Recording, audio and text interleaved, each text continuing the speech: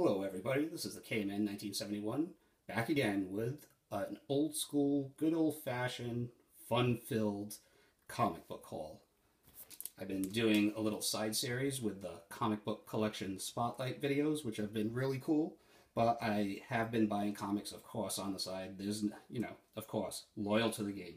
So, um, they've been starting to build up a little bit, so I figured why not try to get a a comic book haul out of the way. Not out of the way, but it'll be fun.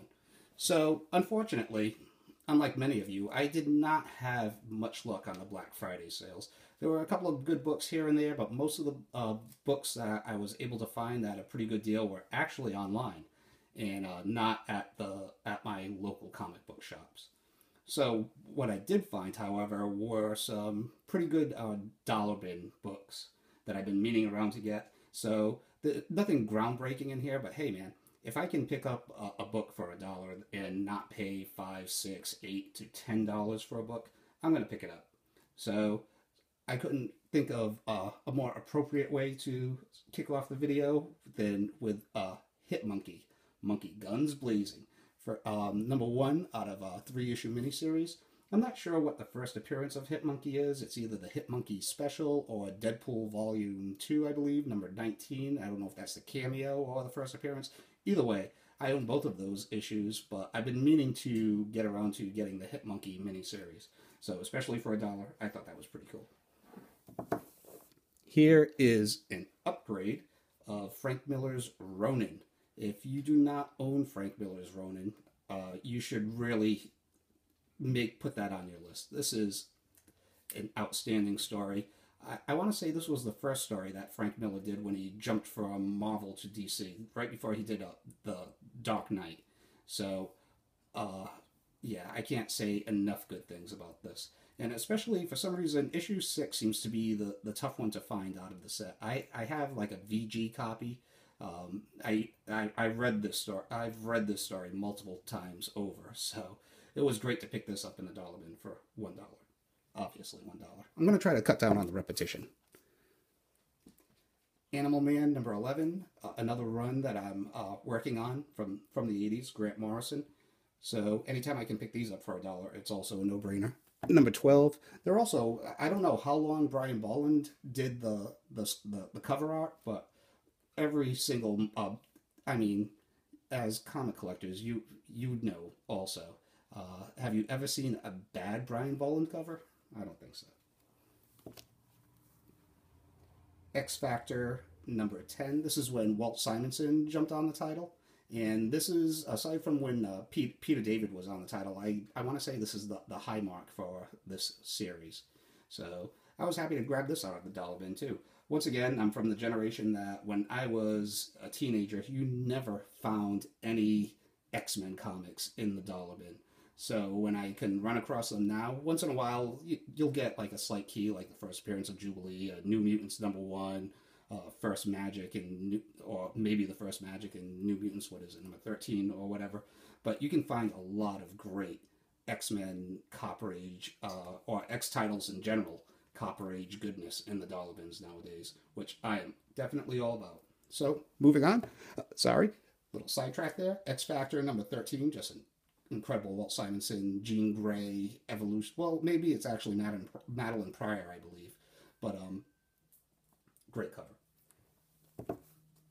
X Men Annual number eight. It is one of my side quests to get a run of Uncanny X Men from '94 till the end of the Chris Claremont run, which I want to say is around like maybe in the 270s, maybe 280s when Jim Lee and Andy Kubert, right before they came out with X Men Volume 2. So I would like to complete that. So when I can get these little filler issues at high grades in the dollar bin, once again, awesome. So X Men, and I actually never read the Inferno storyline. I, I, jumped off the X titles when I was a teenager due to limited budget, and uh, went around the time when John Romita Jr. became the regular artist. And believe it or not, Marc Silvestri never really did it for me either. I jumped off for a long time from like say issue 176, 177 to I, I didn't jump back on until uh, Jim Lee caught my attention as the artist on the X titles in like what the 260s. So huge gaps to fill. number 241, 243, and Ghost Rider Wolverine Punisher Hearts of Darkness. I love picking up these prestige, quote unquote, prestige square bound books for $1. Uh, this is just good 90s fun.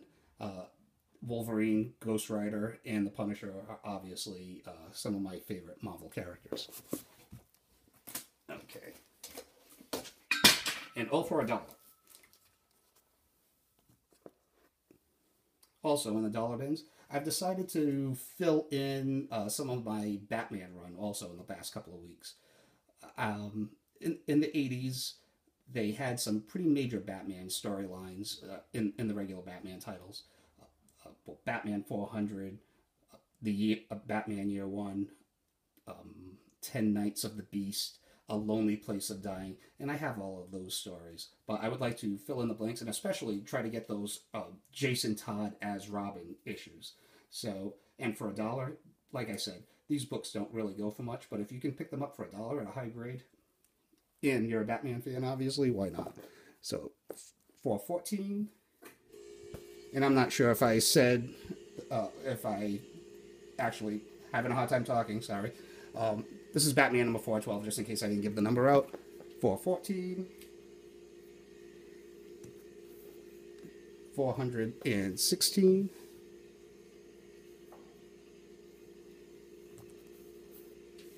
Four twenty one.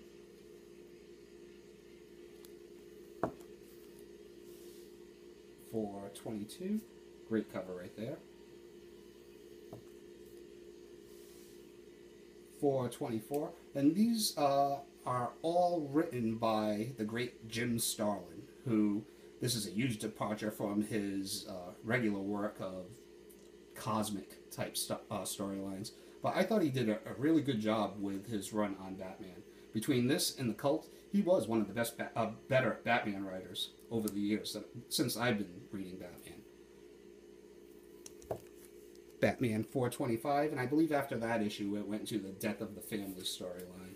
So with those issues, I basically have from uh, Batman from issue 400 all the way up to um, A Lonely Place of Dying storyline, which introduced Tim Drake as the, the third Robin. And I also picked this one up out of a dollar bin. Batman 448. It's uh, I read somewhere online that was the first appearance of Lark and I ended up mistakenly thinking that it was an earlier version of the character, the character that Duke Thomas, uh, the, the mantle that Duke Thomas has right now in the regular ongoing Batman titles. But this was actually the first appearance of Lark, uh, the female bodyguard of the Penguin. So I, I believe that was originally from one of the Batman animated animated series. I'm not really sure, but it's also the first appearance of Harold to to some degree. He's uh, also a Batman character, kind of um, a, a, genius, a genius inventor. Not big, but for a buck, why not? And here were the two uh, best books that I found out of the dollar bin, I guess monetary wise. Booster Gold number five.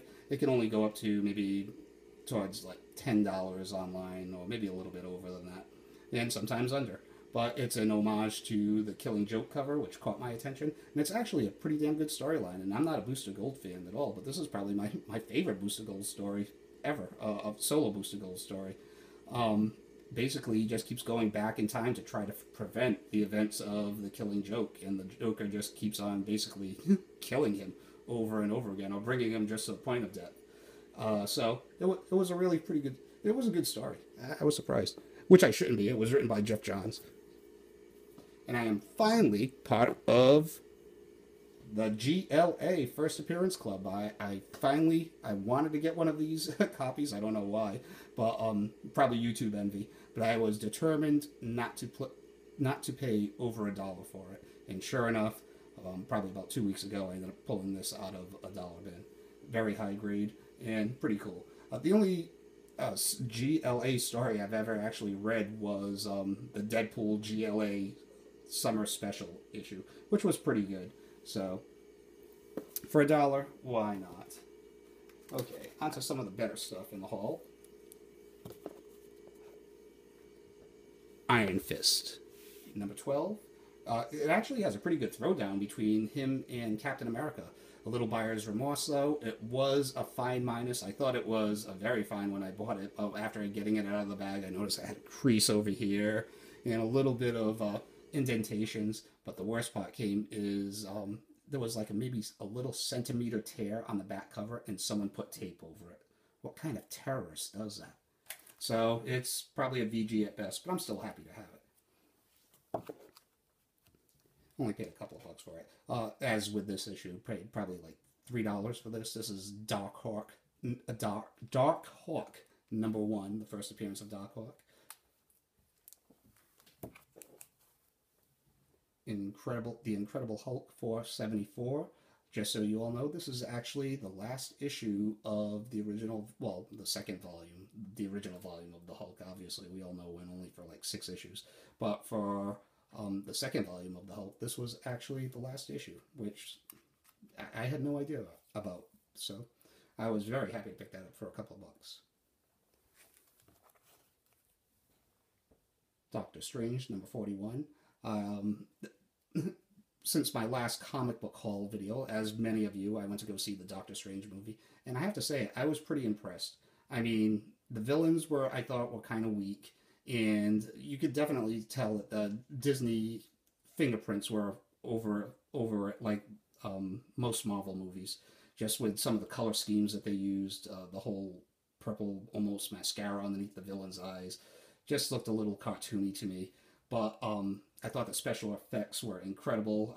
And as I'm more of an X Men fan and a Suicide Squad fan, but I thought the Doctor Strange movie blew both of those movies away, no problem. And um, kind of like Paul Rudd with Ant Man, uh, Benedict Cumberbatch, I, I, um, I believe that's his name. I think he is the perfect casting for Doctor Strange, and I think Marvel has a n- no doubt another hit franchise on their hands. Um, I was already psyched for Thor Ragnarok, and I won't get in, into it too much here, just in case people haven't seen the movie. But I am even more psyched for Thor Ragnarok now. They already had my money before, and um, they definitely have my money now. Even more so, if that's even possible, if that even makes sense. Okay, um, here's Doctor Strange, number one. Obviously, the movie gave me a little bit of a Doctor Strange itch. This is the number one from the Newbury Comics exclusive variant. I picked that up for a cover price. And here's the one that I really wanted. Doctor Strange, number one, the the Wando variant, hip hop variant, Doctor Strange, the Mystic. Uh, obvious, uh, an homage to one of my top three favorite rap albums of all time, Dr. Dre, The Chronic. If you were alive in the 90s and you didn't own a copy of The Chronic by Dr. Dre and a copy of Nevermind from Nirvana. I'm not sure if you were you were missing out on something really good. All right.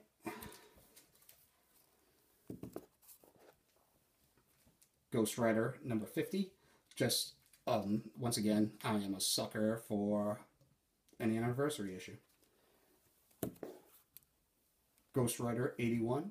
I've shown this one off before. Well, actually, not this one off before. This is an actual upgrade from uh, from the copy that I that I already had. The copy that I had, once again, looked better in the bag than than out, but it was probably a fine to fine minus at best. And this one is in very fine condition. Has a couple of spine ticks right here. It's a tough black cover, but better in better condition than the other one I had. And I believe I bought it for around the same price. So. Marvel Tales 99.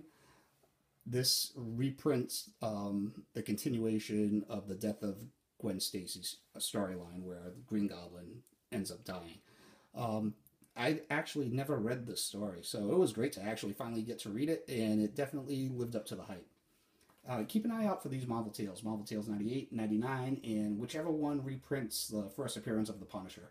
They can go for like $10, $15 online, so if you can get them on the cheap, why not? And especially if you don't want to shell out two, three, four hundred dollars for the actual storyline of um, the death of Green, Gwen Stacy and the Green Goblin, which is it's a classic. Okay,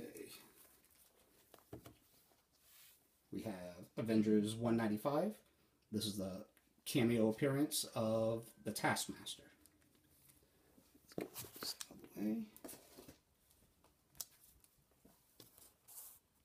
Pick this up at a half price sale. 250 not bad. Especially these uh, later issues. Anytime you see simona and udon on the cover for deadpool i would pick those up. Actually i would pick up any copy of deadpool volume one of his first ongoing series. There are certain um, mo- quote unquote modern series that i would definitely pick up if if i if i if available. I um, deadpool volume one harley quinn volume one guardians of the galaxy volume two um, just to name a few Oh. And I was really happy to pick this up. Also an upgrade. Deadpool, the Merc with a Mouth, number 12. An homage to um, Nirvana, Nevermind. So it was really cool to pick that up. This is probably one of my all-time favorite Deadpool covers. And Chasing the Taco, that's fantastic.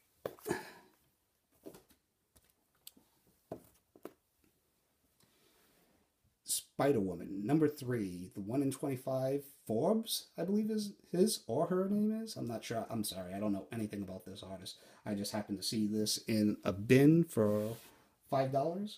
Didn't know how much it was going for. I just picked it up because I love this cover. This is a red hot cover. Look at those reds. Look at those yellows. And um, it's just gorgeous. It only goes for about 10 bucks online, too. So I would snag this one up. I, and just for total disclosure, I think Spider Woman has one of the best costumes in comics, and this is probably the my favorite Spider Woman um, cover of all time. All right, winding down. Also at the half price sale, um, one of my LCSs probably about three weeks ago did a half price sale on all Marvel titles. So I could not believe this was on the rack. Uh, um, it wasn't, you know, new. They they keep probably about like four to six months worth of titles on their on their comic racks. So I was just I just happened to be thumbing through and I, I could not believe I came across this for what was it? Came out to two dollars. Awesome. Vision number one, first print, first appearance of Viv Vision. Tomb of Dracula, number 56. As I've said before, anytime that you can come across these Tomb of Draculas in high grade, especially at a five spot, pick them up.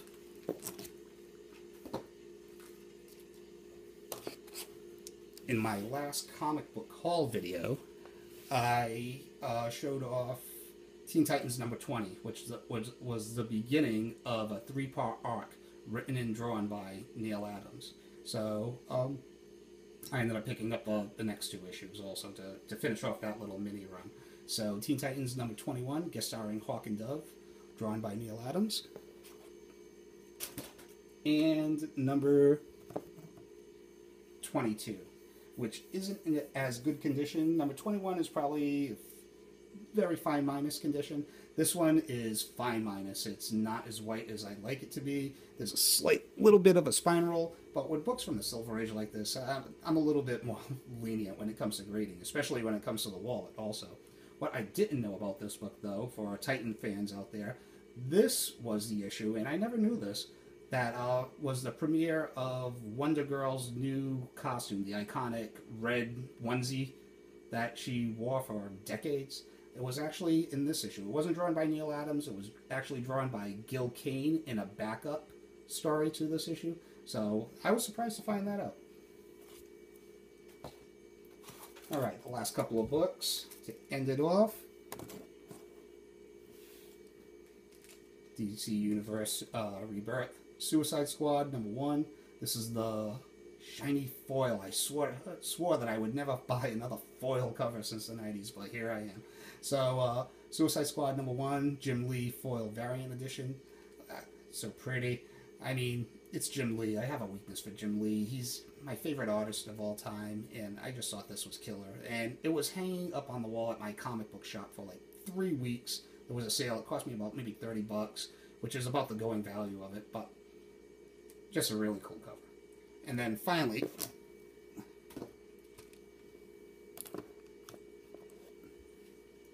Ghost Rider number one. finally in my collection. Oh, very happy to finally add this one in there. Um, the price on this book is all over the place. I mean, if you look on eBay, they some sellers are actually charging uh, as much for this book as almost as much for uh, his first appearance. So I end up paying ninety nine dollars for this shipped, which I was pretty happy about. I would say it's oof, maybe VF minus. Super sharp corners. I don't usually do this whole comic book porn thing. That's the only thing that I see wrong with it right there, is that little blunt right there.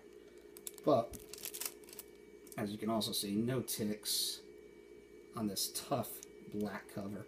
No indentations. So, for 99 bucks, I didn't really want to shell that out right before the holidays, but it was too good to pass up. I mean, the last time one of these passed me by was, um, it was beat to hell, so I had to pass on it. But very happy to own this. I mean, the Bronze Age is no doubt uh, my favorite age to um, collect from. So this is a very um, happy addition to my PC. So thank you all for watching. Thank you all for subscribing, commenting, and uh, that's about it. I will be back next week for another comic book haul, and then who knows? I, eventually, I'm gonna do more comic book uh, collection spotlight videos. Uh, the next couple will focus on my indie books and my Marvel keys, and then eventually, I would like those comic book collection spotlight series to focus on classic runs and just geek out with some of. There's a lot of attention that goes to quote unquote key issues, but or classic covers. But for me, the the best part about comic book collecting is what lies within those covers. So it'll give me an avenue or a, a, a way to um, wax poetic about some of my favorite runs that I I think deserve a little bit of spotlight. All right, so that's all I have for this week. Thank you all again for watching, as always, and I'll see you all next week. Take care.